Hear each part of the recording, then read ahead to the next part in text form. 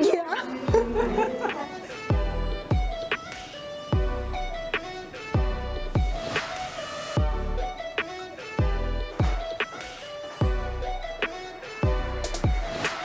Olá de novo de Nagoya, no Japão. A gente está começando agora a segunda parte do nosso dia. E a gente vai para um museu, Museu Tecnológico da Toyota.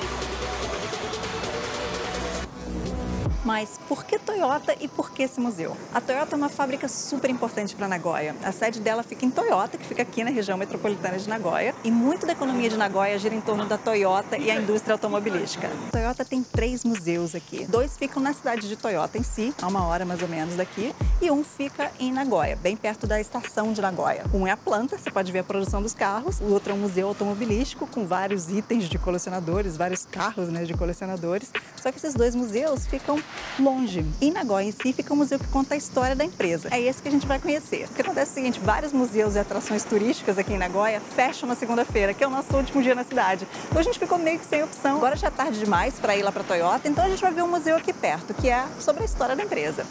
Estando aqui em Nagoya, sabendo como a Toyota é importante para a cidade, queria entender um pouco mais dessa conexão. Hi, do you offer discounts for this? Ah, yes, 20% discount. Oh.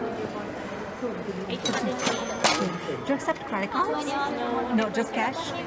You have cash? Arigatou gozaimasu. Maior empresa do Japão, tanto em tamanho quanto em lucro. Three pavilions. Any idea where we are? Right here. Entrance, yeah, isso, smart. Tudo começou bem aqui.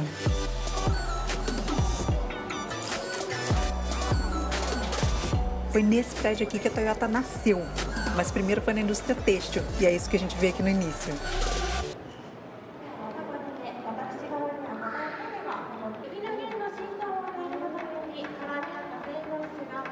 The raw cotton. Não parece muito diferente assim do nosso algodão hoje que a gente usa em casa.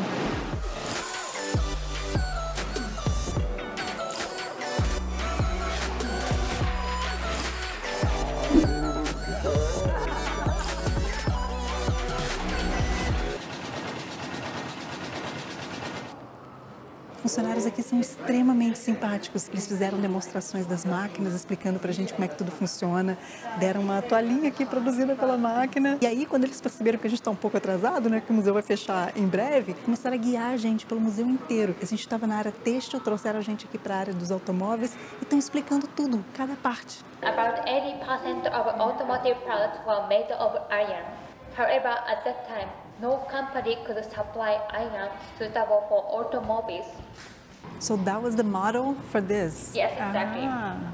Eles se inspiraram nesse carro aqui da General Motors para construir o primeiro carro da Toyota. Eles destruíram o carro inteiro para estudar. Was this the first one? Toyota's first passenger car. Esse foi o primeiro carro de passeio da Toyota, 1936, modelo AA. 400 yen lower than the Ford and GM. Quando lançaram já era 400 ienes mais barato que os modelos da Ford e da GMC. You for listening. Arigatou, Arigatou arigatou.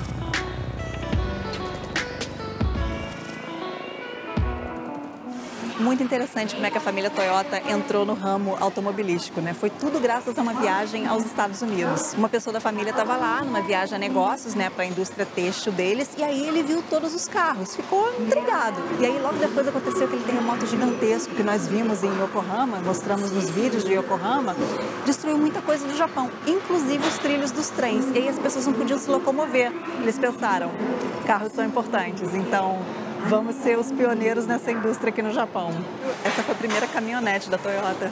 Minha família tinha um desses, que era até verdinho também. Há muitos anos. Eu lembro quando eu era criança ir pro colégio num desses aqui.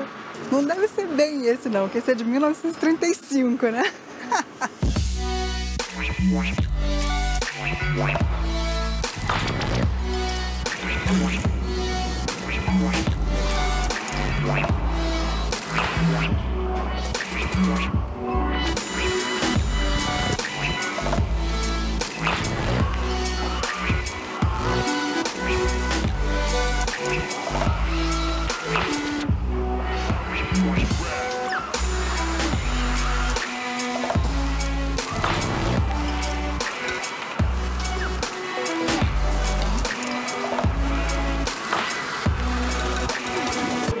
carros do futuro, ó, híbridos. Objetivo para 2050, zero emissões de dióxido de carbono. Acabou o horário. Ficamos até o último segundo aqui que deu. Time's up, baby. We stayed as long as we could. Yeah. The factory, not the country. You are leading me to the shop? Oh, that's interesting. Foi meio corrido no final, mas valeu muito a pena. E olha que eu não sou nem apaixonada, nem louca por carros, nem nada. Você poderia tranquilamente ter passado mais algumas horas aqui. Acho que esse é mesmo Central Park de Nagoya.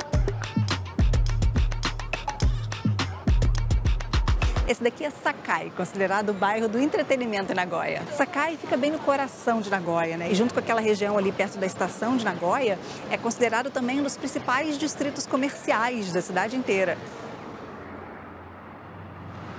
Normalmente a torre estaria toda iluminada, você poderia ir lá em cima, ver a vista. Só que agora ela está fechada para reformas. Estão melhorando a resistência a terremotos aqui. Ó, mas foi por isso que nós viemos aqui à noite. Olha isso. Like a mall down? Yeah. Be careful with the bike. Isso daqui é o Oasis 21. E olha que legal. Dá pra ir lá em cima. Deve significar Oasis do século 21. Isso daqui, na verdade, é um complexo de restaurantes, lojas, um shopping, né? E tem até uma rodoviária aqui embaixo. The underground part is much bigger than what's up here. O que a gente vê iluminado é só cobertura mesmo. Claro que a gente vai dar uma olhada lá dentro também, né? Mas primeiro eu quero lá em cima. Yeah. So cool, look at this floor. Yeah. Tudo tão futurístico aqui.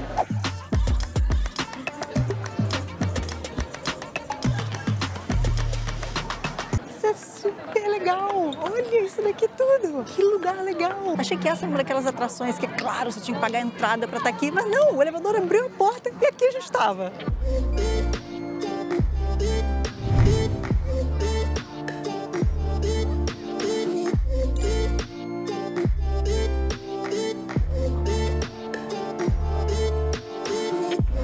Fazendo que nem o japonês. Imagina isso daqui sendo o teto da rodoviária dessa cidade.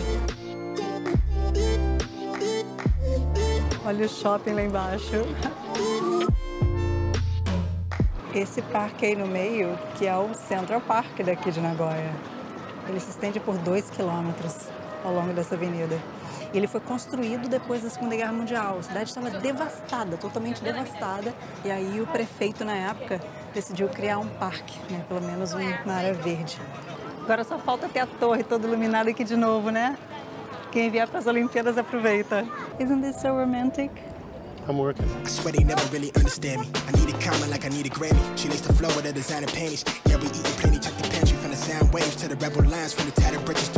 Oasis 21. Deve ser muito legal durante o dia, mas à noite te garanto que é melhor. Guys in penitentiary, night sky, but my inside is in mighty flashy with a bird's eye. Scribble gems to get my pockets lined till I get arthritis. My heart is icy, walking past the Maybe building. we can eat right here. Yeah, maybe you can. A gente ficou beliscando o dia inteiro, então agora finalmente é hora de comer um prato decente. About time, right? Yeah. A gente vai com o que parece ser o melhor daqui de Nagoya, chamado Hitsumabushi. Enguia grelhada em cima de arroz. Especialidade de Nagoya. É caro, custa entre 2 e 3 mil ienes por pessoa, mas como a gente tá aqui, não vou deixar passar, né? Arigatou gozaimasu. Ah. Ah, vem até com instruções aqui, ó, de como comer o Hitsumabushi. Aqui tem o chá verde, wasabi, algas marinhas e cebolinha.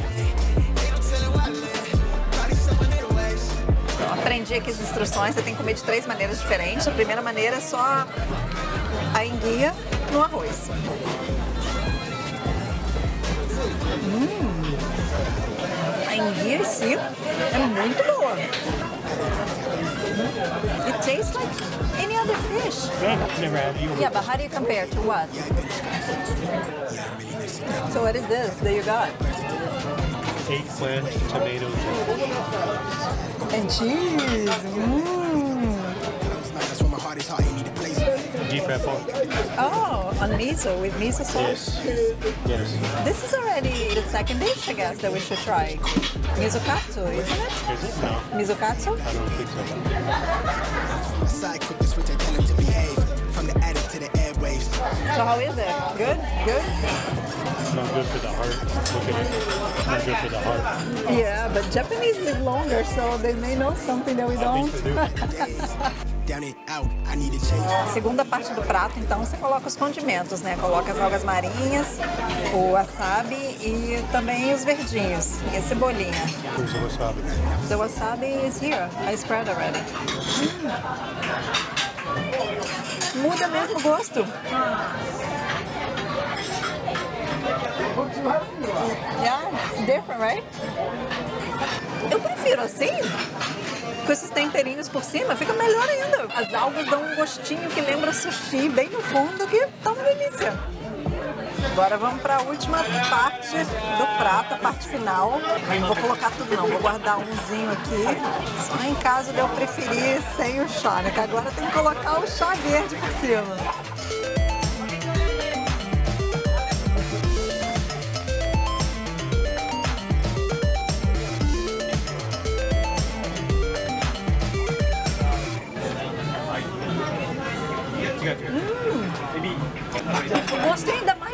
Diferente.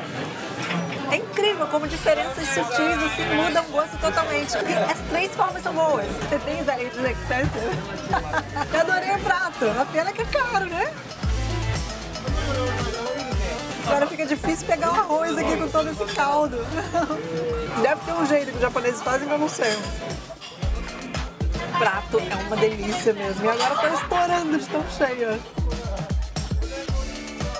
Nosso jantar mais caro na viagem inteira ao Japão deu 50 dólares. Mas é uma daquelas coisas únicas de Nagoya. Você tem que provar. E eu acho que valeu a pena. Só uma só coisinha antes de ir. Lembra desse cartão aqui que eu mostrei no vídeo anterior? Desconto no transporte em final de semana. Esse é o cartão de transporte limitado aqui em Nagoya. Metrô ilimitado durante 24 horas no final de semana. Vale muito a pena. Nós começamos o dia na região do Castelo de Nagoya. É o que estava no vídeo anterior. Terminamos com tudo que você viu nesse vídeo aqui. E esse cartão mais do que se pagou. A gente ainda ganhou desconto na entrada do castelo. 600 ienes durante 24 horas para você andar de metrô para onde você quiser. Vale muito a pena se você for pegar o metrô várias vezes no mesmo dia aqui no final de semana. Toyota is the family. Toyota is the company. Impossible. No, why? Why? Mudando a letra. Look at you. You're speaking Portuguese now. You look at the lens, baby. You don't look at yourself. Help. I'm purple. no, I'm pink, purple. Do you know that that's the oldest TV tower in entire Japan? It's Yeah? older than the one in Tokyo. They don't have TV then. It's not working. What do you mean? It's not lit up. The tower They have no TV in Japan. I guess it's just, it's just for I think the, the observation. you even confuse me now. I don't even know what to say. I don't know.